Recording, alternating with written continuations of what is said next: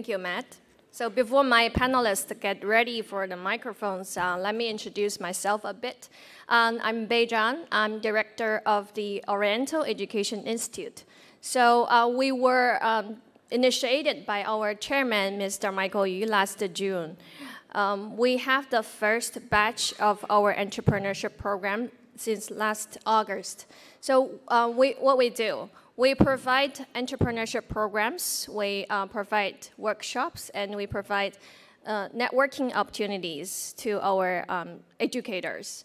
Um, we are working towards to build up this community where you know every entrepreneurs and every educators can learn and grow.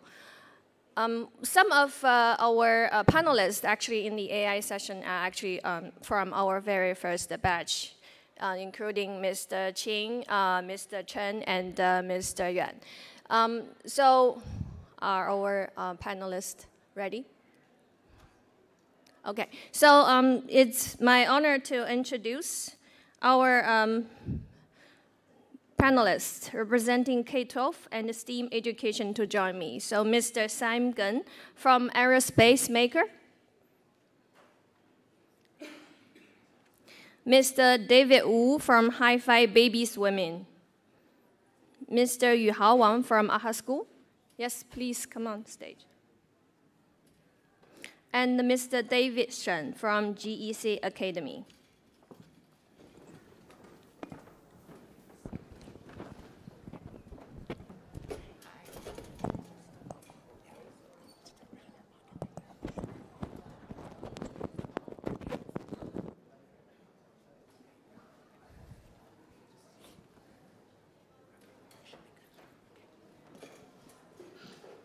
gentlemen.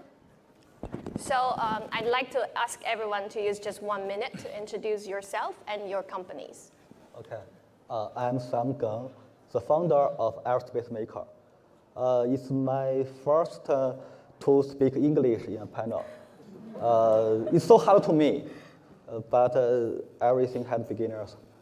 I will try. My company focuses on aerospace science and technology education.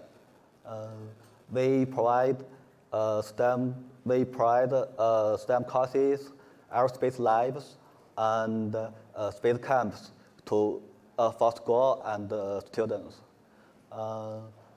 New Oriental is one of our inventors. and we ranked the top 20 aerospace companies in China last year. Uh, we work with about uh, 100 uh, schools and more than 10,000 st students now. Okay, that's all. Thank you. David. Hello, everyone. I'm David Wu, founder of Hi-Fi. Hi-Fi is the leader in China baby swimming. Hi-Fi cover uh, family from uh, family to children from zero to nine. Hi-Fi course cover baby swimming, eco yoga, eco family classes, uh, baby gym.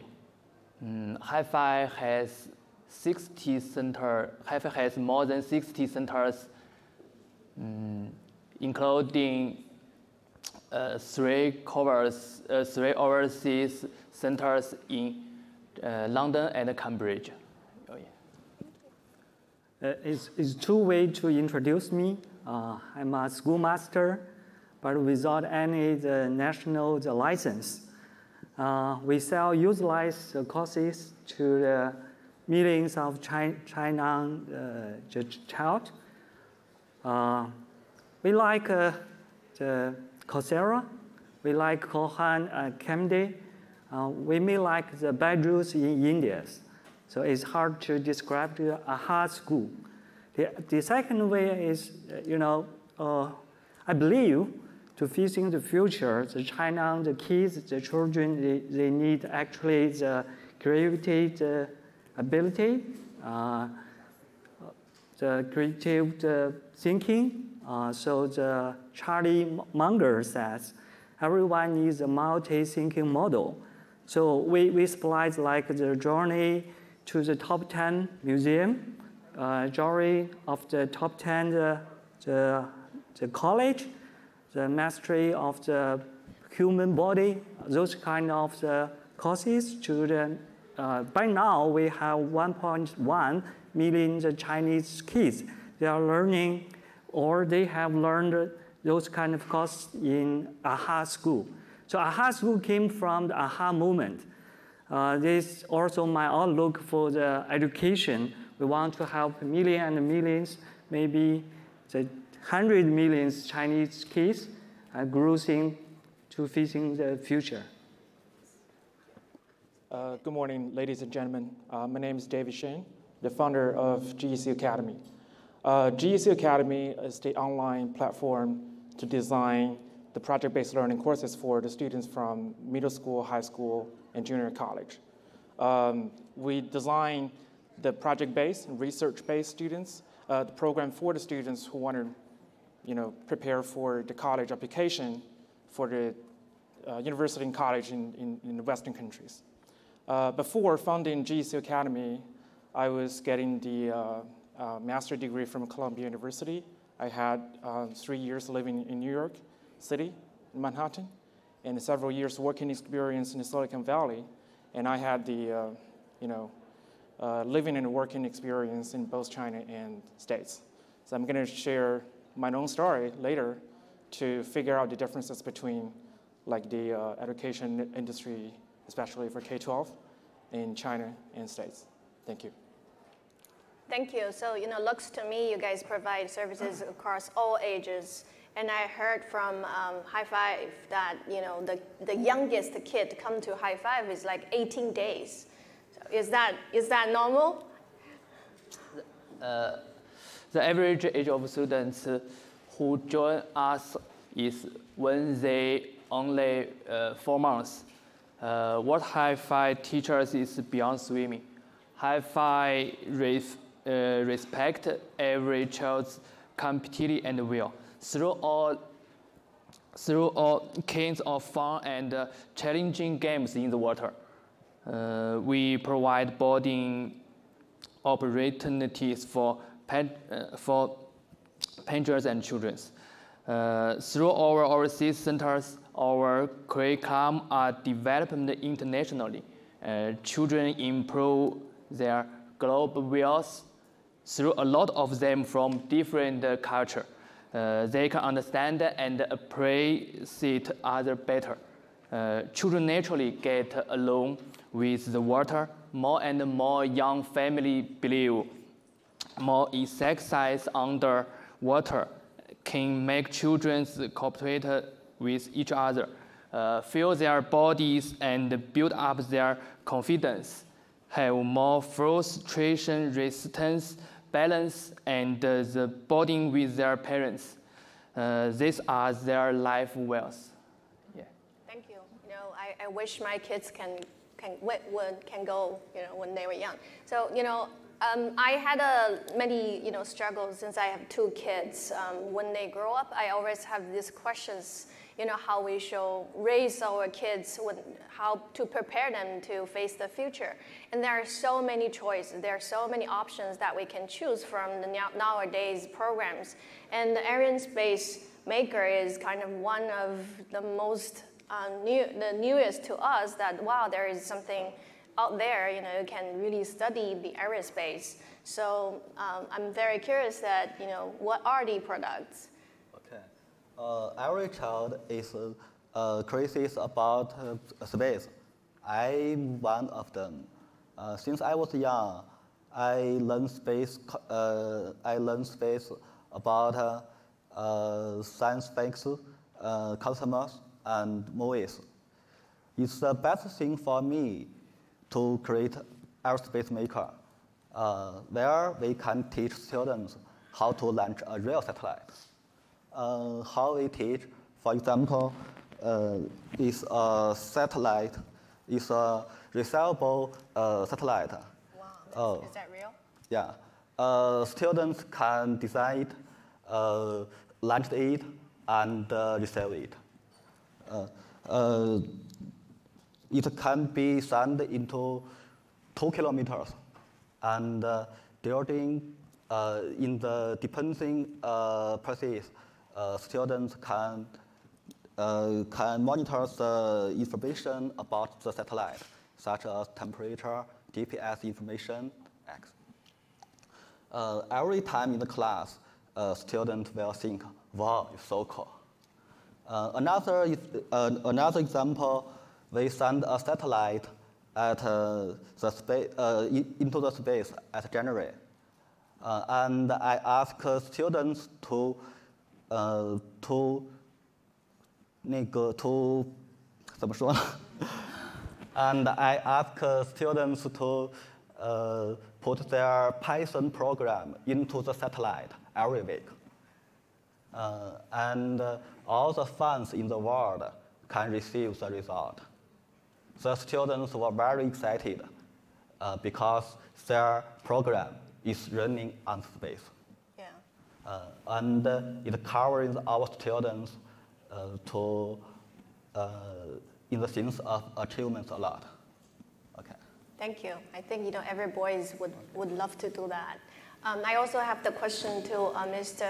Wang, Mr. Yuhao Wang. Um, you know, um, what are the specialties that you think in your products and programs which are facing you know Chinese young families? Okay. Uh, the, the, the last panel was talking about AI. So I think AI is much important. But the the most important thing for uh, you know Chinese families, if they have to, they must have to the worldwide, world class the outlook about education, because like the parents like us, uh, we are the you know the, the communist party, the education system. We have to follow the rules. We have to be a standard product, but some of us, like Jack Ma, they are not uh, those kind of the standard product. They have their view or they have, you know, a kind of the, the ability different from us. So I think uh, the most important thing is to let every uh, student, every family knows uh, every child is unique. We have to help them to discover and uh, develop their uniqueness. So for AHA school, it's a 20 months, young school. Uh, the story is from a father to be a schoolmaster.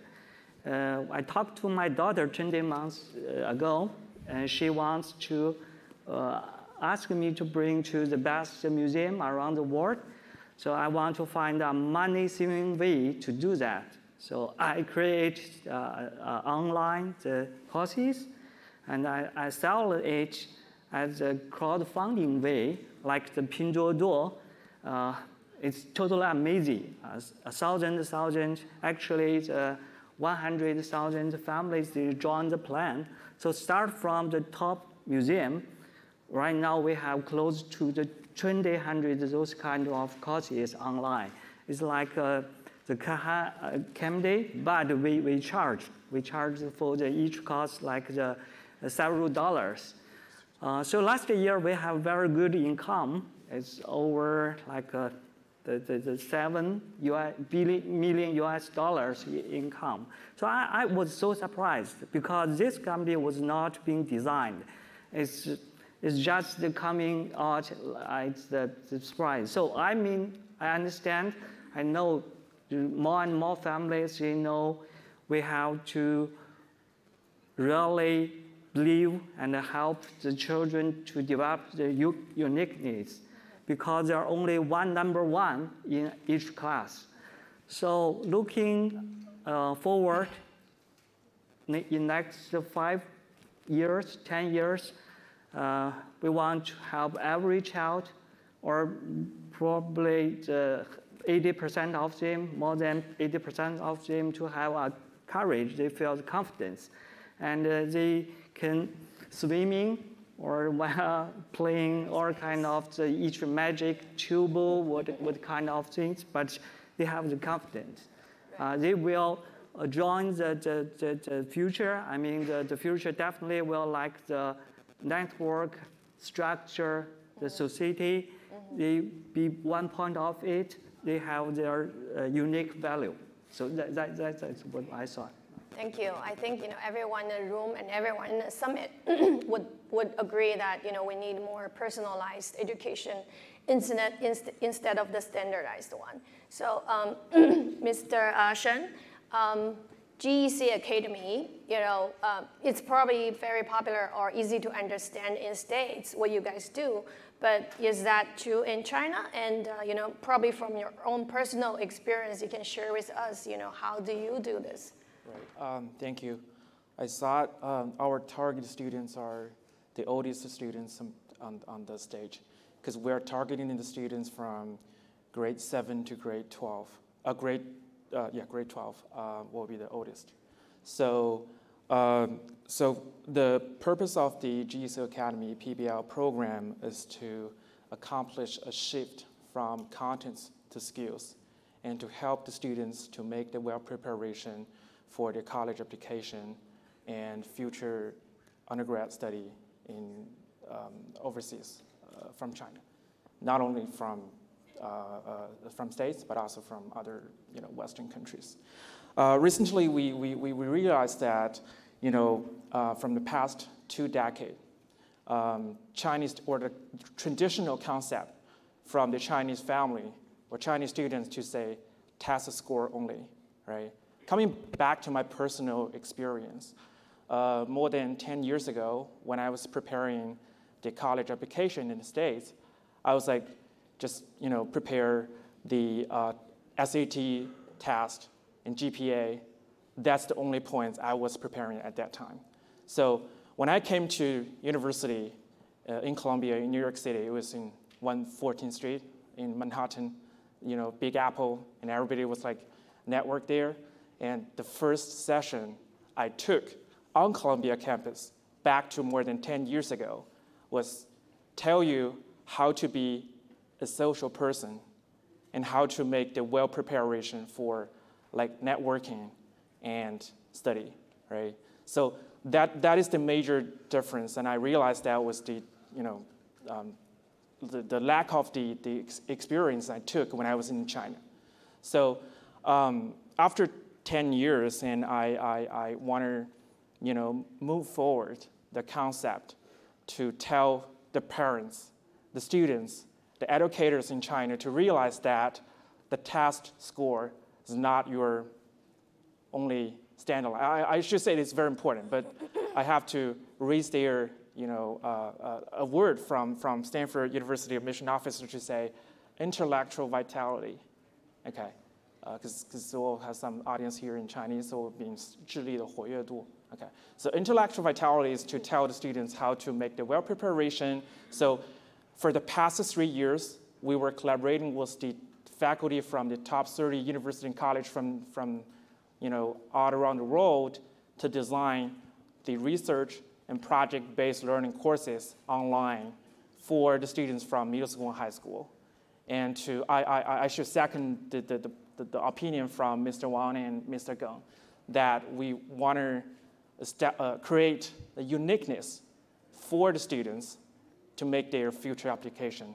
And I should say, getting the, the offer from the university is not your final goal, but it's a milestone, right? Because you have to complete your undergrad study and future career path. So uh, we have done like the, you know, more than 300 different projects and different topics to, uh, to be associated with the existing core system like IB, A-level, AP, and IGCSE.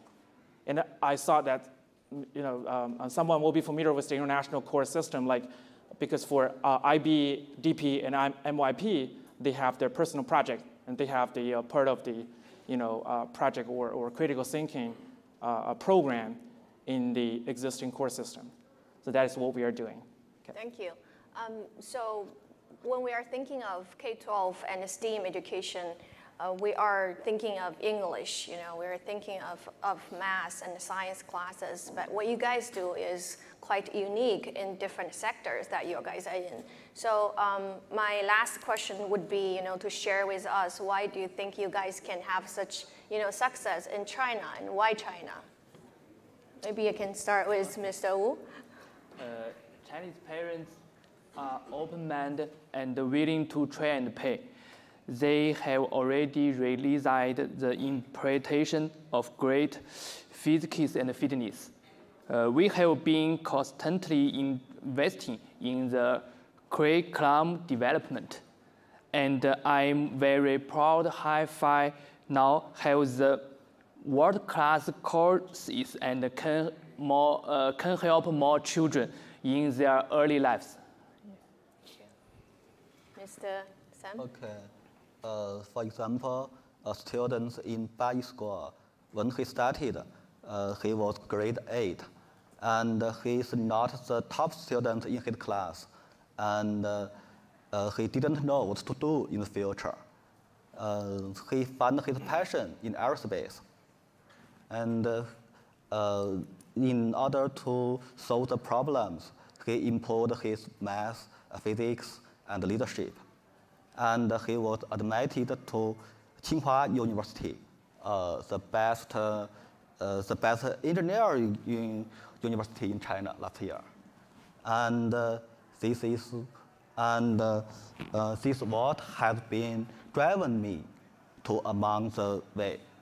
Uh, and uh, I hope with the Chinese young family, uh, we will have our Chinese vision, Elon Musk, uh, in the very near future.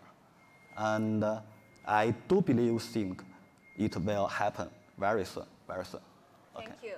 Thank you. It's a, it's a real example. Thanks for sharing. You guys have anything to add? Yeah. 在 in Chinese，呃，这儿有一句话叫“时势造英雄”，这 the trade makes heroes。So like for the New Oriental, uh, is established in last century, the 90s, because the China's the door was open.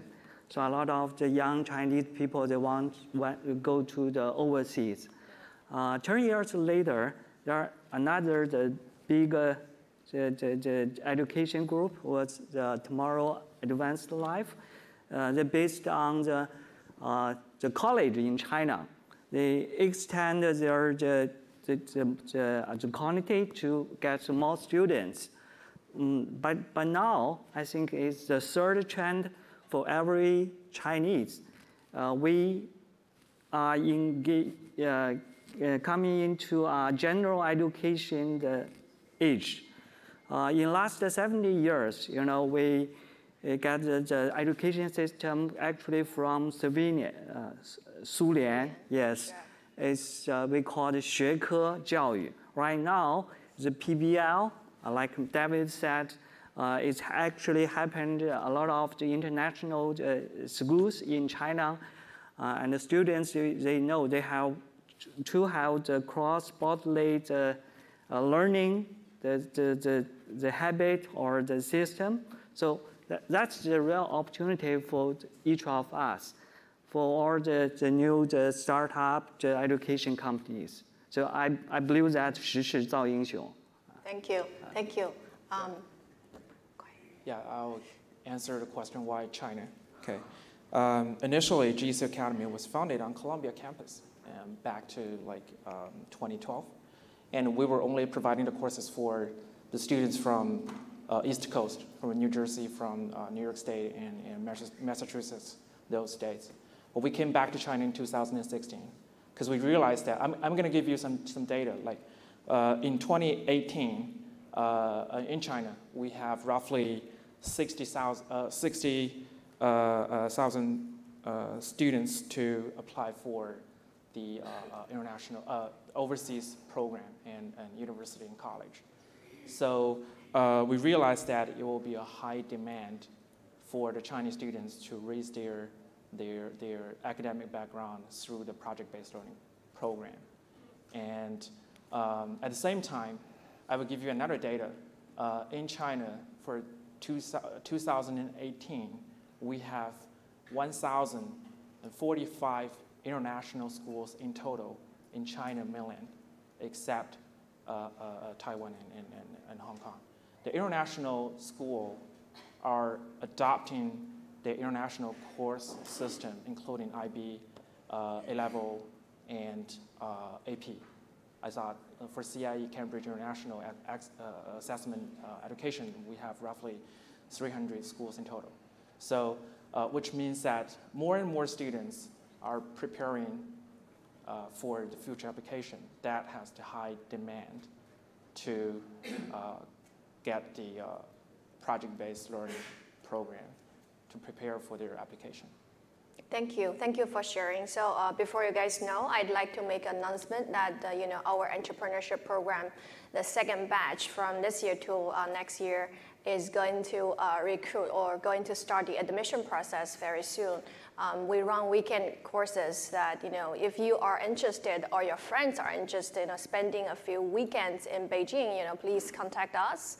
We are very welcome you guys to come over to Beijing um, we are very happy to be here. So thank you, gentlemen. Thank you.